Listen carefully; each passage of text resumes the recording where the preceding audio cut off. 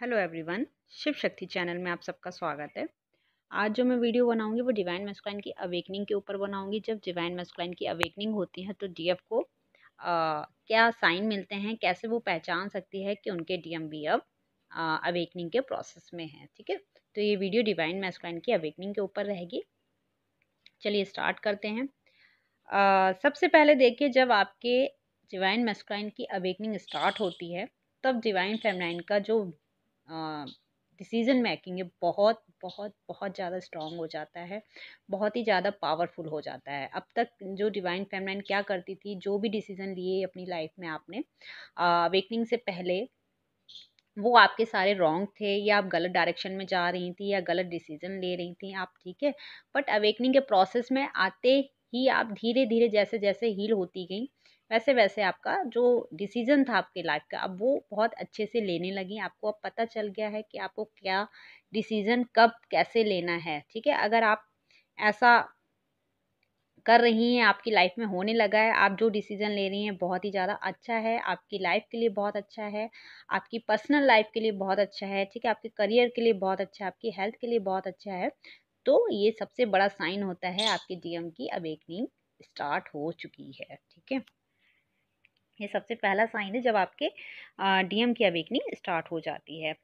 दूसरा साइन है self love एक होता है सेल्फ लव आपसे किसी ने कह दिया, आप सेल्फ लव करो, आपके अंदर सेल्फ लव की कमी है, आप सेल्फ लव नहीं करते हो, ठीक है, किसी ने बोल दिया और आप करने लगे बट अंदर से आवाज़ नहीं आ रही, आप अंदर से फील नहीं कर रहे हो कि मेरे अंदर अभी सेल्फ लव है या मैं सेल्फ लव करती हूँ या किसी के कहने पे ही सिर्फ़ कर रही हूँ तो ये सेल्फ लव नहीं है, ठीक है? सेल्फ लव को आप ऐसे पहचान लगती है? आपके अंदर मतलब अब आपसे कोई भी कुछ भी बोलता है आपके फ़िज़िकल अपेरियंस के लिए कुछ भी बोलता है या आपके कॉम्प्लेक्शन के लिए कुछ भी बोलता है आपके करियर के लिए कुछ भी बोलता है आपके आपके आ, किसी भी चीज़ को लेकर आपसे स्पेशली बोलता है वो भी आपके फ़िज़िकल बॉडी को लेकर। अगर आपके बारे में कोई कुछ गलत बोलता है आपको कोई फ़र्क नहीं पड़ता आप ट्रिगर नहीं होते हो और आपको किसी भी तरीके से आप लो वाइब्रेशन में नहीं जाते हो तो ये होता है सेल्फ लव आपके अंदर अब नेचुरली डेवलप हो चुका है, ठीक है? अब आप नेचुरली सेल्फ लव की एनर्जी में आ चुके हो। अब आपको किसी से कोई फ़र्क नहीं पड़ता, लोग आपकी बॉडी के लिए क्या बोलते हैं, लोग आपके फ़िज़िकल अपेयरेंस के लिए क्या बोलते हैं, लोग आपके कलर के लिए क्या बोलते हैं, लोग आपकी हाइट के लिए क्या बोलते हैं। अगर आपको इन सब बातों से अब कोई भी फ़र्क नहीं पड़ता है तो आपके अंदर सेल्फ लव नेचुरली आ चुका है, जो कि डीएम की अवेकनिंग का सेकेंड साइन है, ठीक है? तो ये दो साइन बताए हैं मैंने, ठीक है? थर्ड साइन आपको बताती हूँ। अभी तक आपके अंदर अनकंडीशन लव नहीं था, जैसे कि सेल्फ लव नहीं था आपके अंदर, अब अनकंडीशन लव भी नहीं है फॉरगिव भी नहीं कर पाते हो आप, ठीक है? तो कहीं ना कहीं ये आपके अभी आप भी सही से हील नहीं हुए हो आपके डीएम भी अभी आ, सही से हील नहीं हुए हैं या वो अभी ऐसे पूरी तरीके से अवेकनिंग के प्रोसेस में नहीं है। बट जैसे ही आपके अंदर धीरे धीरे अनकंडीशनल लव डेवलप होने लगता है आप फॉरगिव करने लगते हो लोगों को फॉरगिव करने लगते हो खुद की गलतियों के लिए भी खुद को फॉरगिव करते हो और फिर उस रास्ते पे नहीं जाते हो जो रास्ता गलत है ठीक है? ये सब आपके अंदर नेचुरली आ रहा है तो आप समझ जाना आपके काउंटर पार्ट की भी अवेकनिंग स्टार्ट हो चुकी है। ओके? ये थे तीन साइन नेक्स्ट है, देखिए जब आप अनअवेकंड होते हो, आप तब बहुत ही ज़्यादा मैस्कुलाइन एनर्जी में होते हो, ठीक है? बहुत ज़्यादा आप पर मैस्कुलाइन एनर्जी हावी होती है, जो कि एक हार्डनेस को दिखाती है। बहुत ज़्यादा हार्ड एनर्जी होती है मैस्कुलाइन एनर्जी ठीक है? तो जब आपके ऊपर, जब आप अनअवेकंड होते हो, आपके ऊपर बहुत ही ज़्यादा मैस्कुलाइन एनर्जी हावी होती है। मैं अपना एक्सपीरियंस बताऊँ, मेरे ऊपर बहुत ही ज़्यादा मैस्कुलाइन एनर्जी हावी थी। और जब आपके ऊपर मैस्कुलाइन एनर्जी हावी होती है तो आपकी जो बॉडी होती है, बहुत ही ज़्यादा हार्ड हो जाती है, ठीक है? बहुत ही ज़्यादा कड़क नज़र आती है, बहुत ही ज़्यादा आप ईगो साउंड करते हो आपकी वॉइस में ईगो दिखता है आपकी पर्सनैलिटी में ईगो दिखता है ठीक है?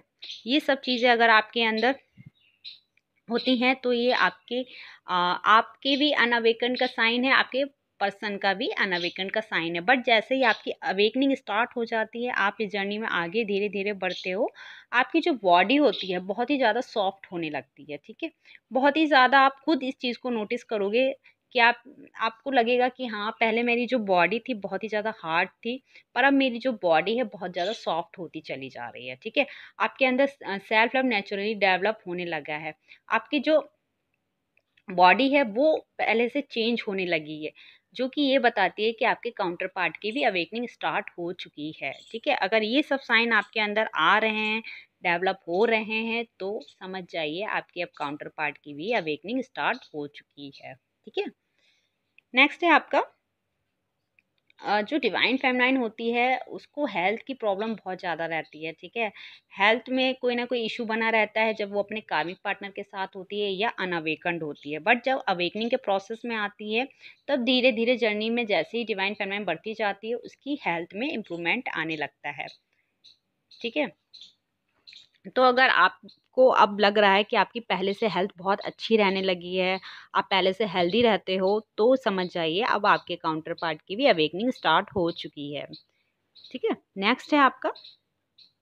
आपको angels number nine six six nine six या नाइन सिक्स नाइन या थ्री सिक्स नाइन इस टाइप की सिंक्रोनोसिटी हो रही है, जो कि डिवाइन की तरफ़ से साइन होता है आपके पर्सन के लिए, जो अवेकनिंग को दिखाता है। नेक्स्ट है आपका।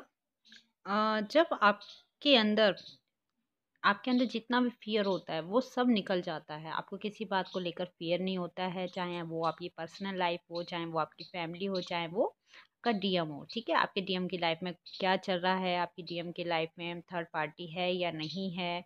उनके साथ क्या हो रहा है? इन सब बातों से अब आपको डर नहीं तो आप समझ जाना आपके काउंटर पार्ट की अवेकनिंग स्टार्ट हो चुकी है। देखिए, जब डीएम की अवेकनिंग होती है तो ना ही एक दिन में हो जाती है, ना ही एक महीने में, ठीक है? इसमें भी काफ़ी टाइम लगता है। जैसे आपकी अवेकनिंग लंबी चलती है, ऐसे आपके काउंटर पार्ट की भी अवेकनिंग लंबी चलती है। उनके जो भी इशू ब्लॉकेजेस होते हैं, उनको भी हील होना होता है।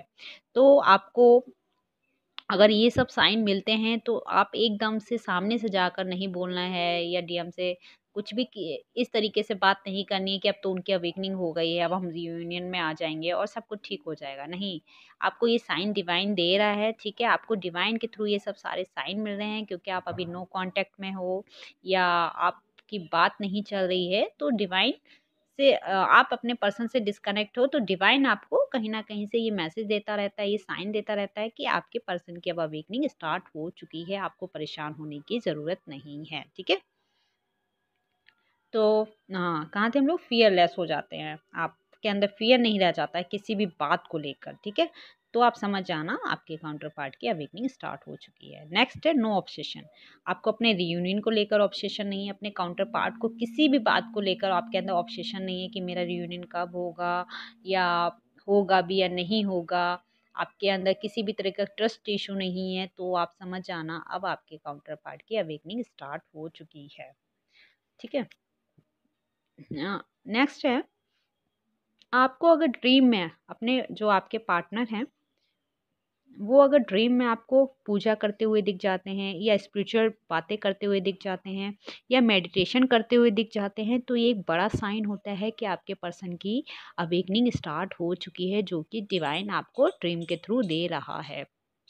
ऐसा हो सकता है वो आपको शिव की पूजा करते हुए दिख जाएँ, राधा कृष्ण जी की पूजा करते दिख जाएँ, साईं बाबा की पूजा करते हुए दिख जाएँ या वो जिसको भी मानते हैं, आप जिसको भी मानते हैं, उनकी पूजा करते हुए दिख जाएँ तो आप समझ जाना कि ये डिवाइन साइन दे रहे हैं आपके पर्सन की जो अवेकनिंग हुई है उसको लेकर, ठीक है?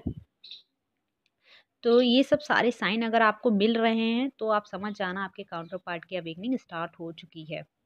नेक्स्ट है, आपके, आपका जो सेपरेशन है, आपको दस महीने हो गए हैं, ग्यारह महीने हो गए हैं, एक साल हो गया है, दो साल हो गया है, ठीक है?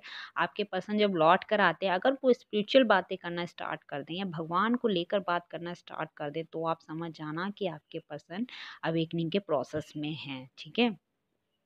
क्योंकि इससे पहले जब वो अनअवेकन थे तब आपसे वो आ, सेक्स को लेकर या इंटीमेसी को लेकर इस रोमांटिक बातें इस तरीके की बातें करते थे। बट जब वो अवेकनिंग के प्रोसेस में होते हैं या फुल्ली अवेकन हो जाते हैं या ज़्यादा से ज़्यादा उनकी हीलिंग हो जाती है तब वो स्पिरिचुअल बातें करना स्टार्ट कर देते हैं।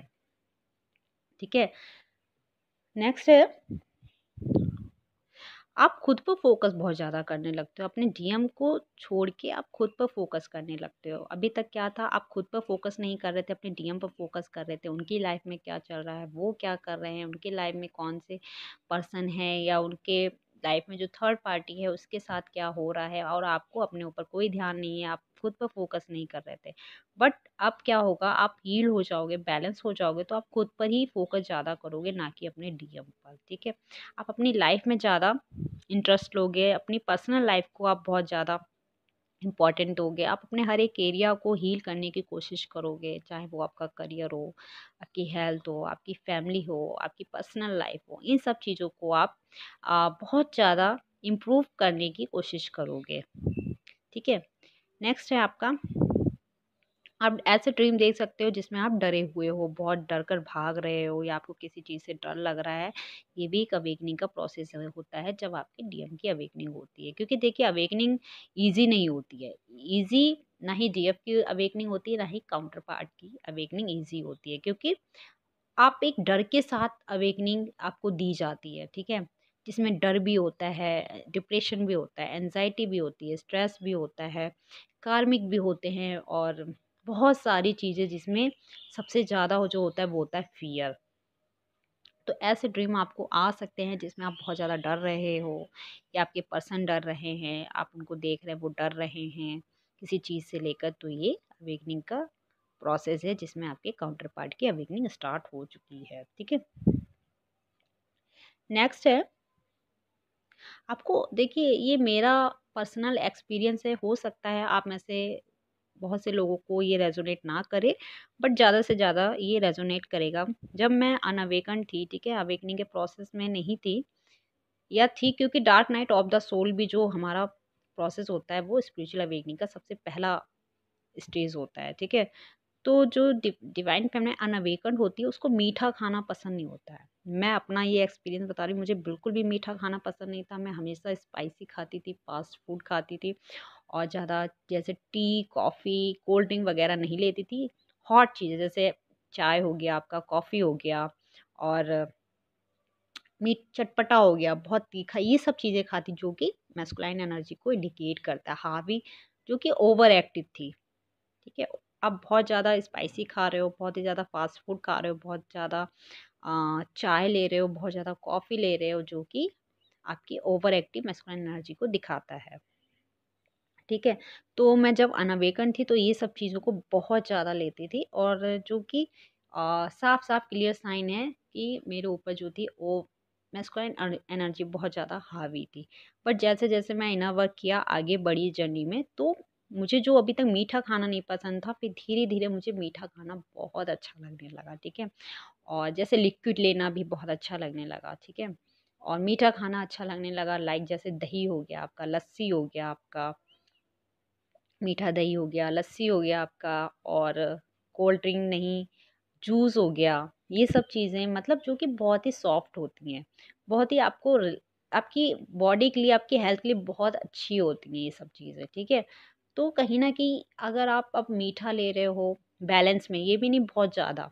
आप स्पाइसी भी ले रहे हो, बट आप खाना ही नहीं, खा ही नहीं पाओगे। ना ही ज़्यादा तीखा खा पाओगे, ना ज़्यादा ही स्पाइसी खा पाओगे, ना ही आपको ज़्यादा चाय पसंद आएगी, ना ही आपको ज़्यादा कॉफ़ी। लिमिट में सब कुछ लोगे आप। ऐसा नहीं होगा कि आप तीखा बहुत ज़्यादा ले रहे हो या बहुत ज़्यादा कॉफ़ी ले रहे हो और मीठा बिल्कुल भी पसंद नहीं। बैलेंस हो जाएगा आपका, ठीक है? अब आप जो भी खाओगे बैलेंस में रहेगा। इम्बैलेंस कुछ भी नहीं होगा। आपकी हेल्थ में भी इम्प्रूवमेंट होता है, आपकी जो डाइट होती है, उसमें बहुत बड़ा इम्प्रूवमेंट आता है। ठीक है? तो आपको मीठा खाना बहुत अच्छा लगने लगा है आप लिक्विड लेना बहुत बहुत ज़्यादा पसंद करने लगे हो। ठीक है? आपको जूस बहुत अच्छा लगने लगा है। आपको मीठा दही हो गया या मीठी चीज़ें जो भी होती हैं, वो अब पसंद आने लगी है तो आप समझ जाना आपके काउंटर पार्ट की अब वीकनिंग स्टार्ट हो चुकी है। ये मेरा पर्सनल एक्सपीरियंस है, हो सकता है आप में से बहुत से लोगों को रेजोनेट हो हो सकता है आप में से बहुत से लोगों को रेजोनेट ना हो। तो प्लीज़ माइंड मत कीजिएगा इस बात बात को, ठीक है? नेक्स्ट है आपका, आपके अंदर कॉन्फिडेंट का लेवल इतना ज़्यादा बढ़ जाता है जो अभी तक आपके अंदर नहीं था। अनअवेकन डीएफ के अंदर बिल्कुल भी कॉन्फिडेंट नहीं होता है, बहुत ही ज़्यादा लो कॉन्फिडेंट होता है, अपनी बात को नहीं कह पाती है, लोगों को फेस नहीं कर पाती है ये सब चीज़ें बहुत होती हैं अनावेकन डीएफ के अंदर। जब डीएफ बैलेंस होने लगती है अवेकनिंग के प्रोसेस में आती है, तब धीरे धीरे डीएफ का जो कॉन्फिडेंट है, वो बढ़ने बढ़ने लगता है, जो कि आपकी मैस्कुलाइन एनर्जी को शो करता है। अगर आपके अंदर कॉन्फिडेंस बढ़ गया है, आप बहुत ज़्यादा फेयरलेस हो गए हो, अब आपको अपने रीयूनियन को लेकर ऑब्सेशन नहीं है, आप बहुत ही ज़्यादा स्पिरिचुअल बातें करते हो या आपके पर्सन आपसे स्पिरिचुअल बातें कर रहे हैं आप डीएम को अपने ड्रीम में वॉरशिप करते हुए देखते हो, ठीक है? आपके अंदर अनकंडीशन लव आ चुका है नेचुरली सेल्फ लव आ चुका है। आपका जो डिसीज़न मेकिंग था बहुत बहुत अच्छा हो चुका है, ठीक है?